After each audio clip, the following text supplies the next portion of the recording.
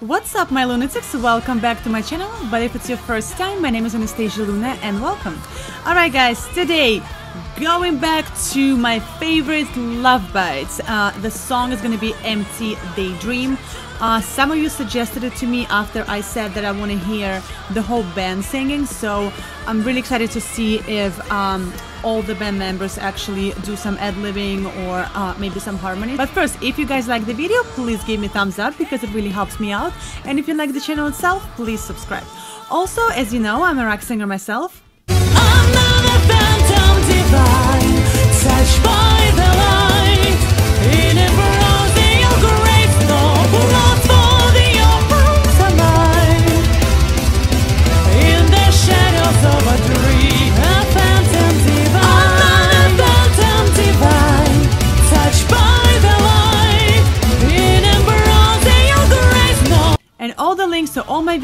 All my stuff, all my music videos, my Spotify, my iTunes and stuff like this are gonna be in the description of this video. So if you have a second, please check it out. Let me know what you think and let's go.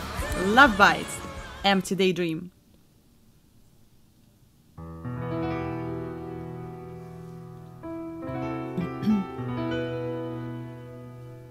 Oh, I love when she plays piano. Mi- Miyako, right? That's the name.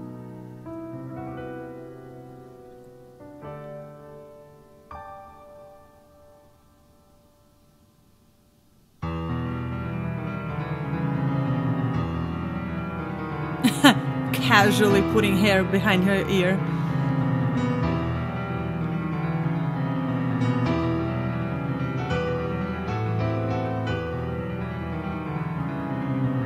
So this is Rachmaninoff's piece, if I'm not mistaken.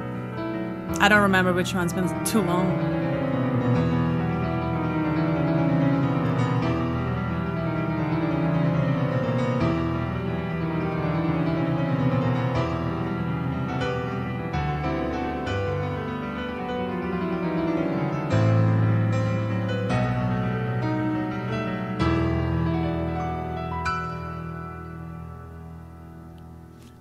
So elegant.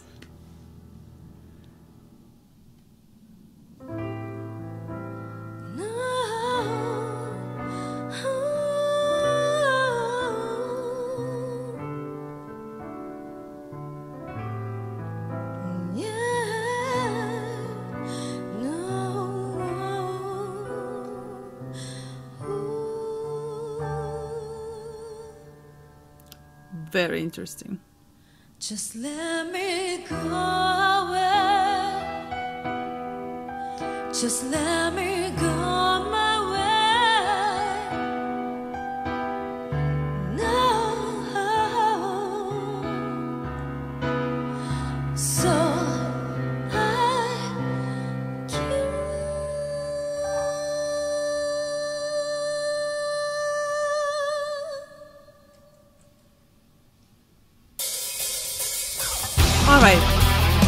Let's stop uh, before um, the actual big part starts.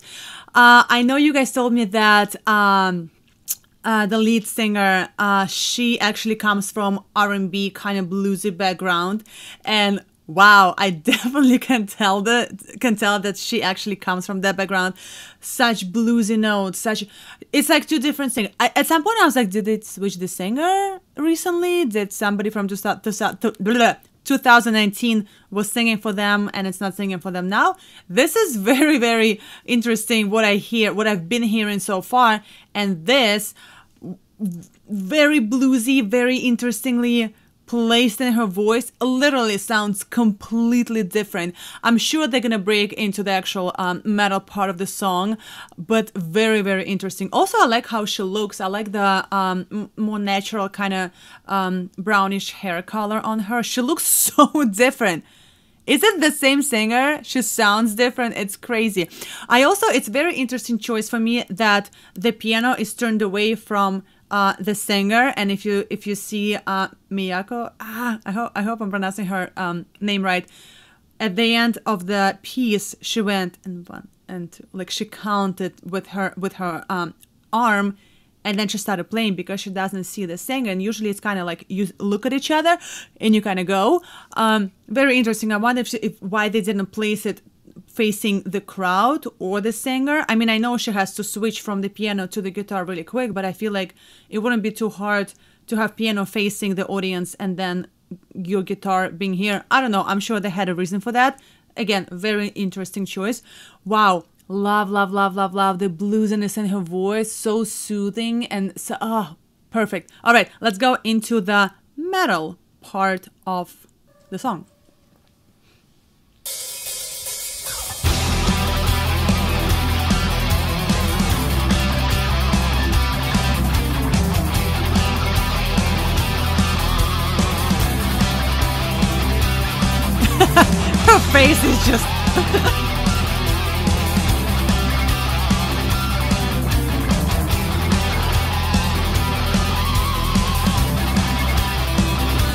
Seems like a uh, a little bit of a lower budget um, show.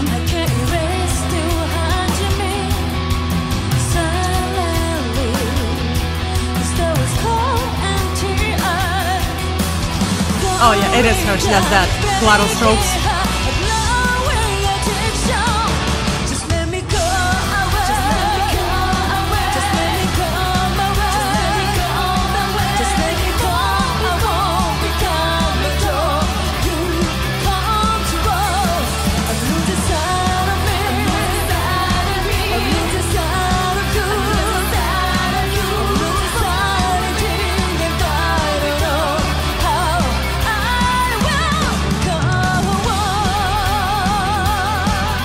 Right, let's start before the second verse. This is very different from what I'm used to uh, hear from Love Bites, and I think this will be my favorite song so far. I think I did maybe three, four reactions. This is like my fourth or fifth one. I'm not sure. And by far, this is my favorite song. And um, just not about love by the uh, the other day I had a conversation with my not you know not the other day. I always have this conversation with people that don't really listen to metal and don't know metal. And the the first thing they're like oh do you know Tool? Oh do you know and they they give me this like American bands uh, which nothing wrong with that you know but like metal has so many colors and so many different subgenres and styles underneath the umbrella of metal. And when I tell them I'm a metal singer, they're like, "Oh, really? You scream? That's awesome! Oh, you have that raspy, cool voice." And I'm like, "No, not even close. I'm classically trained and I have a very clear voice." And it just, I uh, Europeans are much better um, with understanding what metal is. Uh, you don't need to. It, screaming is is a different it's a different subgenre of metal. Screaming and growling and all that stuff. You know, kind of like in this moment. You know, Avatar, all of those things. It's like kind of like melodic death metal, and then there's the symphonic metal, and then there's this and that and this and that, and there are so many subgenres, and all of them intertwined between each other, and literally like almost you know, couple times a week, definitely somebody comes to me and says, "Oh, you're a metal singer. Oh, how, how do you growl? How do you how do you scream so? Like, what do you do?" And I'm like, I, uh, and I show them myself. They're like, "That's not metal." And I'm like, "Wow!" Like, I, every nine thousand or whoever subscribers I have do not agree with you. This is just. I love this band because there's just so much within it. They, I, I'm classically trained and I love classical music, and I love how they incorporate classical pieces. There was a Chopin um, piece when they were before. Oh, I'm gonna mess up right now. I don't remember the name of the song. I, I don't want to mess it up. Um, I love how they incorporate classical pieces into this, and uh, the lead singer's bluesy low register is. I always wanted to um, check out her voice when she was singing kind of like R&B kind of stuff. I'm not really like the, the, um, a crazy fan of that style, uh, but it was just it was just very interesting for me. And wow, she actually blew my mind with this. Definitely gonna be one of my favorite songs. Miyako's face kills me every time in a good way. She's just like awesome. Wow, what a well-rounded band. Wow. All right, let's go. I guess we're going into second verse, right?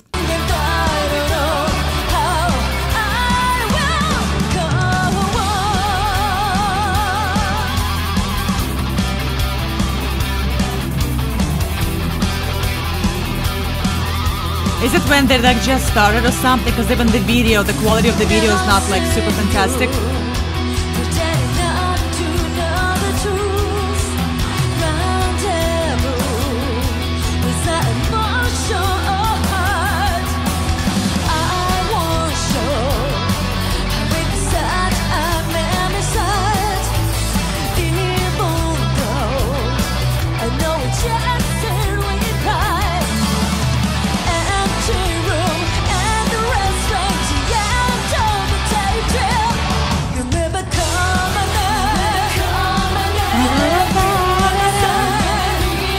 So catchy.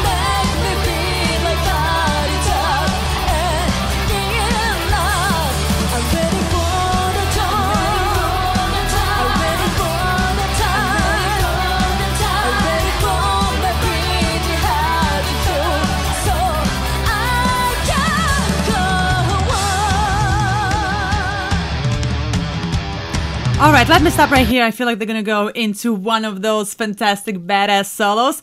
Um, I should have researched it. I should know this by now. Um, I feel like I don't know. Let me actually Google this live right now. Uh, when the band was actually formed, because I feel like this is like at the very beginning of their 2016.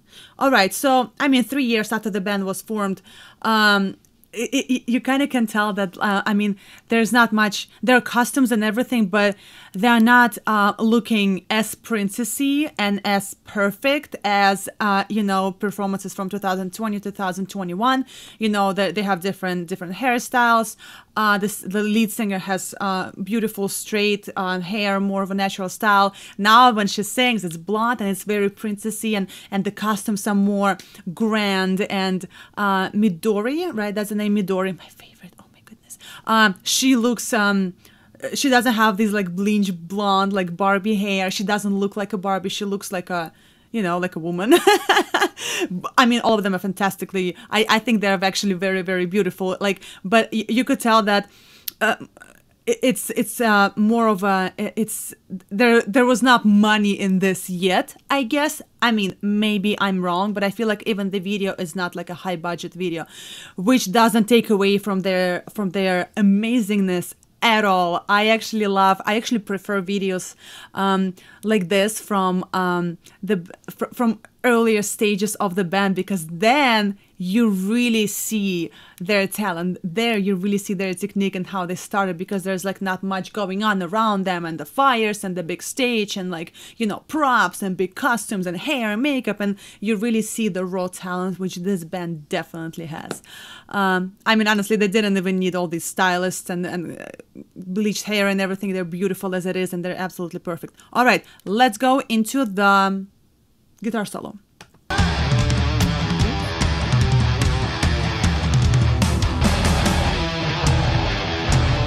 Oh, I guess Midori does have blonde hair there too.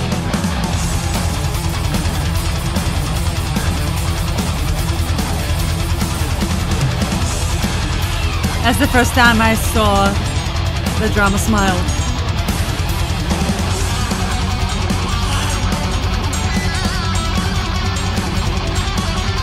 Ooh.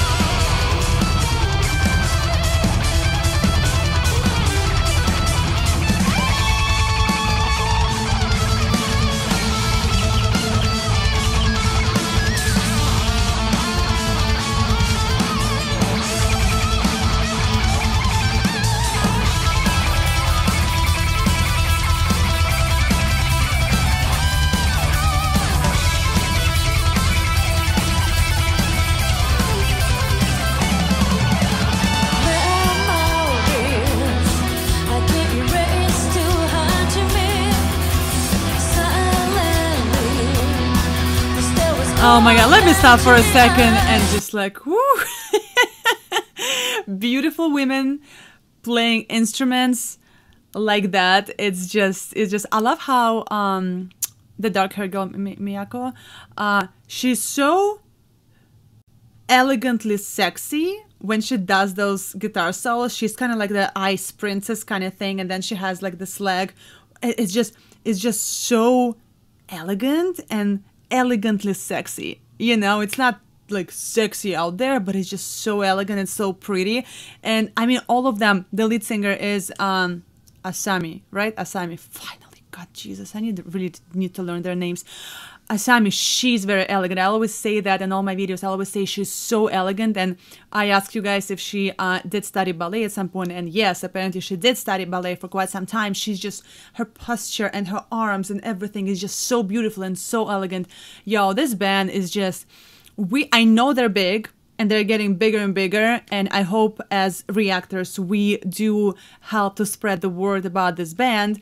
Um, and thanks to to you guys i mean i wouldn't know who they are but we need to like get together and like just make them like mainstream popular you know all over the world. Like they need to be a household name because these ladies deserve all the riches of this world all right, let's go into the last part of the song. The leg. It's so elegant. I love how relaxing her voice is here.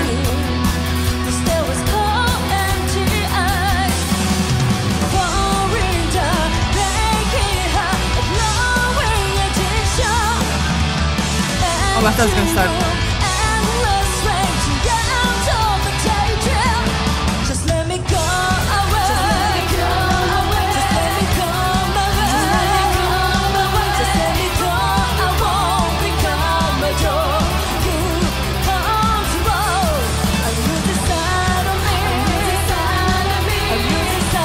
Beautiful.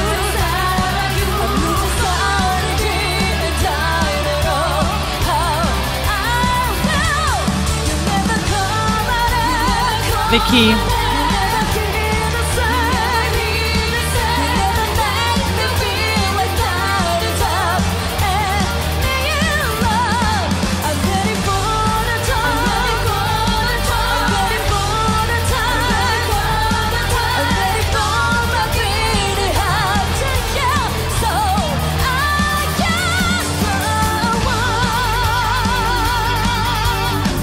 F sharp or something like that there? Ooh!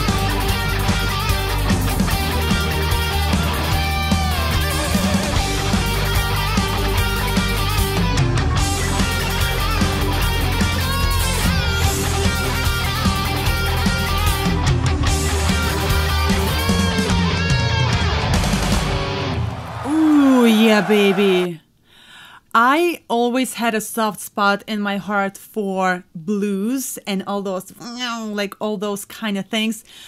I did not expect this. And um, Asami sounds so different here and so much more relaxed. And I'm not saying she sounds bad or anything. I don't think they ever will sound bad or ever produce a bad song or ever have a bad performance because they're just so well trained.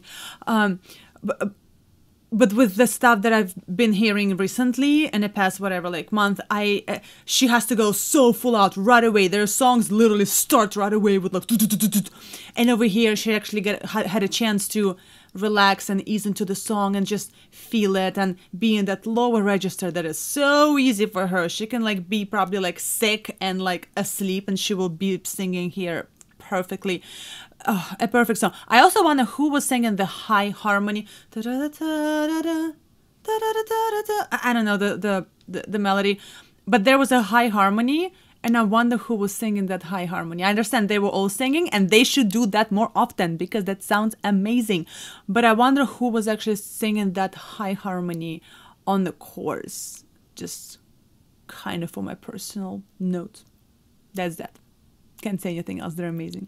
All right, guys. My name is Anastasia Luna. Thank you so much for checking out my channel. If you like the video, please give me a thumbs up because it really helps me out. And if you like the channel itself, please subscribe. Also, guys, as you know, I'm a rock singer myself.